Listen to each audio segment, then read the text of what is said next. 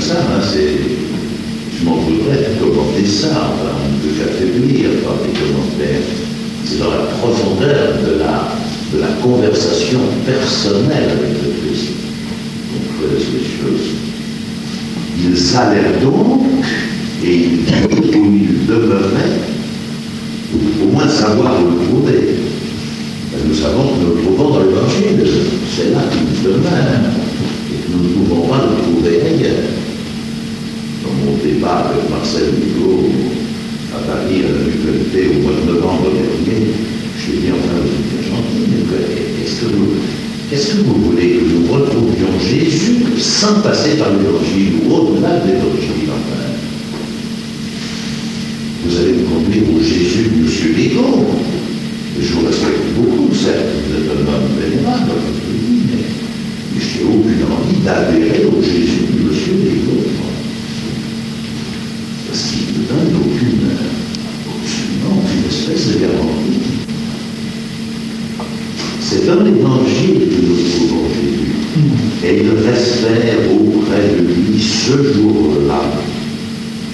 Il n'y a toujours pas de contrainte. C'est un appel sans mots.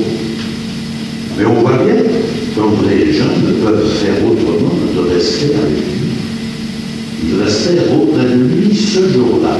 C'était environ la dixième heure. Vous voyez ça, le vieux Saint-Jean le vieux Saint-Jean qui écrit son évangile, il est très vieux.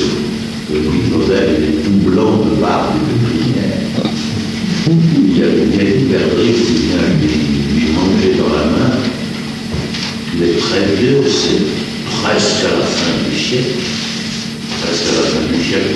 Et si c'est pas Jean, c'est quelqu'un de son milieu et de son école, peu importe. En tout cas, là, il se souvient, c'était environ la dixième heure, c'est-à-dire quatre heures de l'après-midi.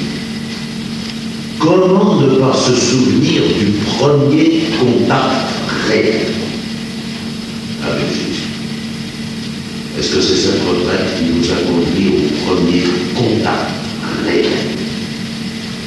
Réel.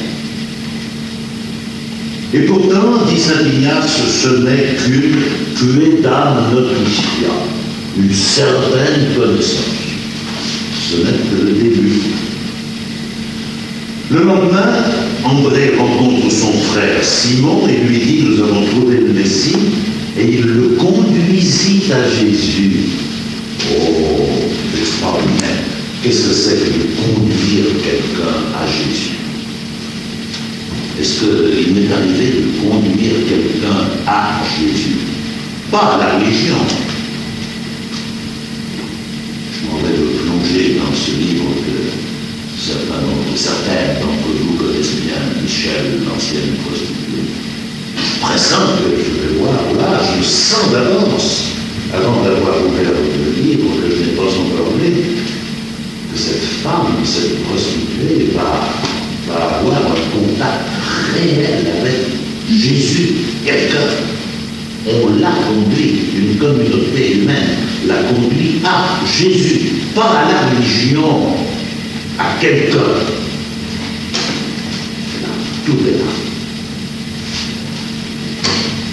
Cette méditation est très personnelle, priez beaucoup pour les convictions, parole du christianisme qui n'ont pas de contact réel avec Jésus. C'est ça leur raison, c'est pas autre chose. Un contact réel. C'est quand même triste d'être obligé de constater que ça nous est difficile de rester plusieurs heures en contact avec Jésus.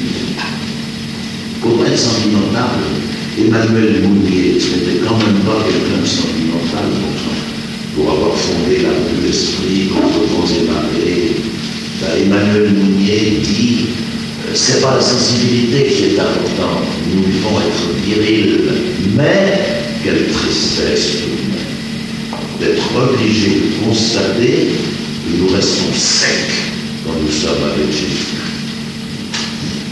Je sais qu'il n'était pas sentimental, mais rien de là.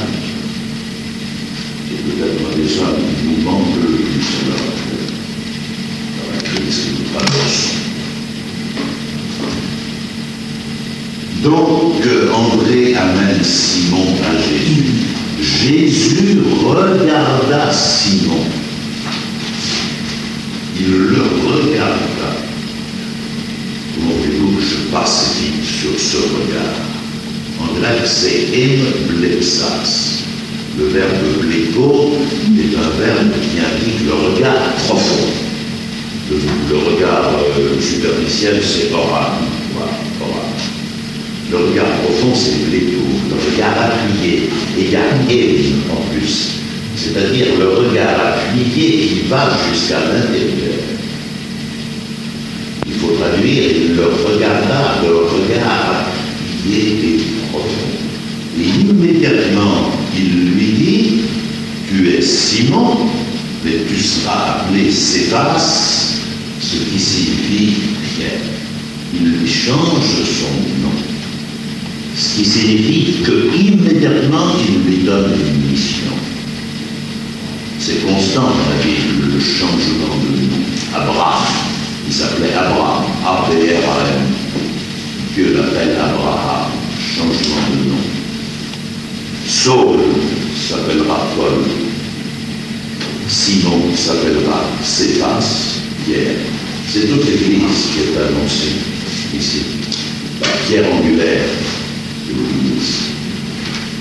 Le lendemain, même scène avec des nuances, vous verrez, Jésus rencontre Philippe et lui dit Suis-moi, suis-moi, tu verras. Et Philippe conduit Nathanaël. C'est pas mal de réticence, vous verrez vous-même, qu'est-ce qui peut sortir du monde Nazareth Qu'est-ce que tu me racontes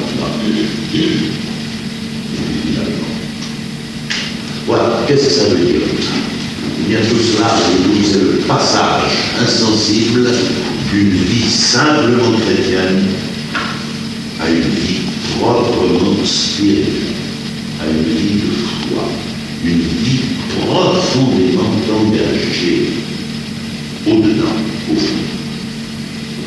Bon, prions pour tous ceux qui n'ont du Christ qu'une certaine connaissance, l'état de Christ. Deuxième point, vocation à suivre Jésus d'une certaine manière. On va passer à Saint-Luc, Saint-Luc chapitre 5, au début, au début du chapitre. Pierre et André suivent Jésus et ne le suivent pas. Ils le suivent et ils ne le suivent pas. C'est le demi-engagement. Ils gardent leur métier. Ils n'abandonnent pas leur système de sécurité, à savoir qu'il faut gagner sa vie. Ils le suivent à moitié. Attention, ça ne veut pas dire que nous aurons à quitter notre métier, ce n'est pas ça. Euh, ça veut dire, si nous comprenons bien les choses en profondeur, qu'ils le suivent sans le suivre, tout en le suivant. Ils n'abandonnent pas leur système de sécurité pour gagner sa vie. C'est la scène de la pêche miraculeuse.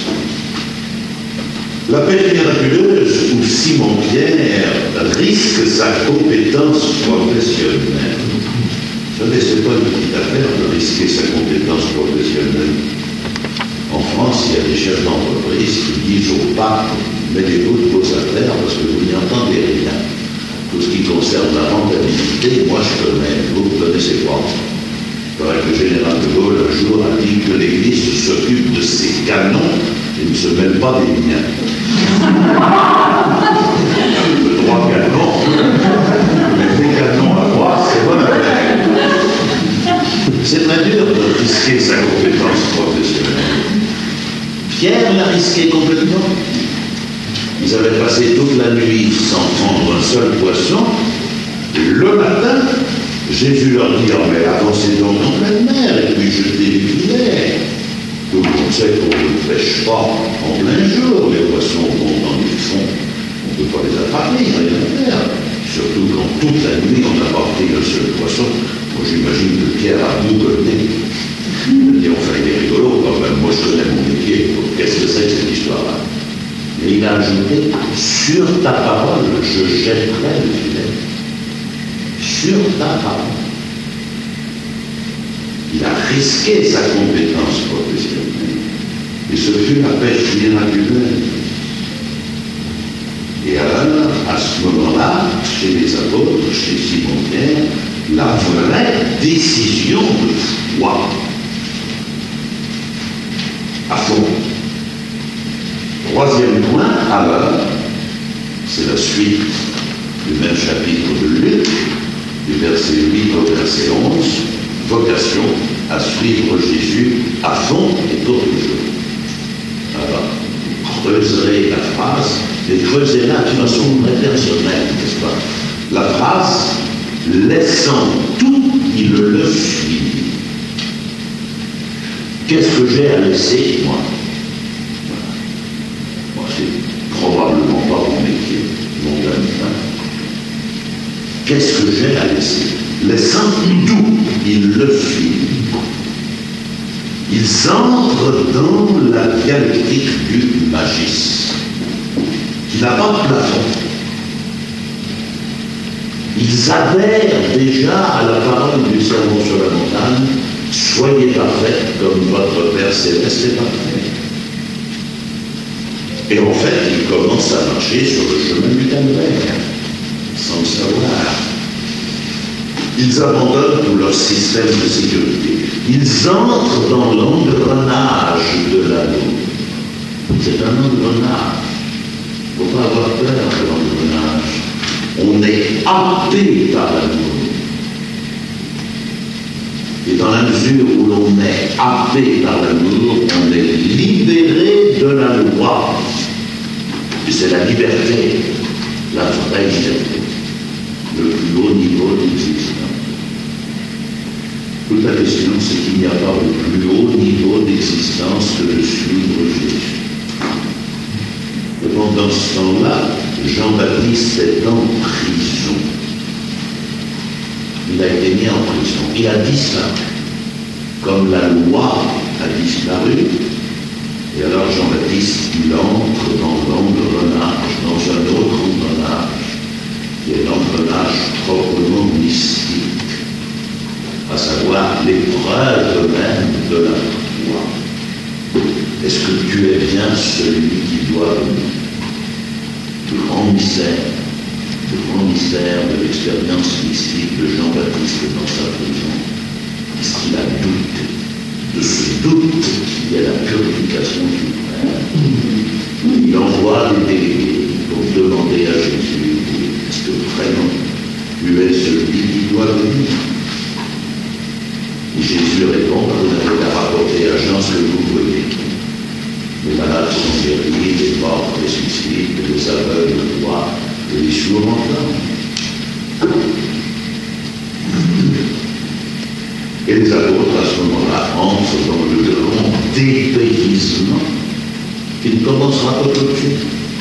Parce que pendant un certain temps, ben, ils participeront au succès du prophète, et succès de leur maître.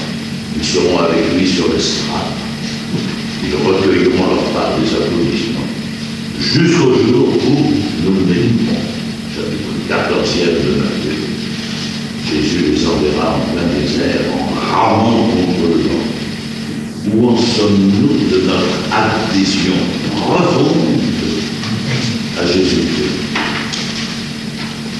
Et comment et jusqu'à quelle profondeur le connaissons